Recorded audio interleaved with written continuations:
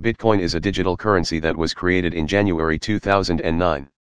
It follows the ideas set out in a white paper by the mysterious and pseudonymous Satoshi Nakamoto.